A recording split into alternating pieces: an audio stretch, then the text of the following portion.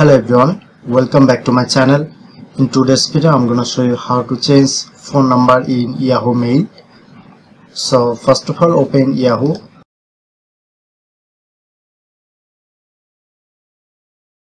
Before start the video make sure to subscribe our channel and hit the bell icon for more update. So let's get started.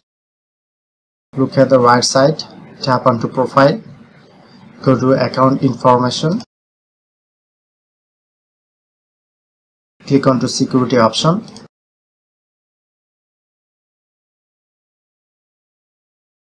Scroll down. Now shown here to phone number option. Click on to add phone number.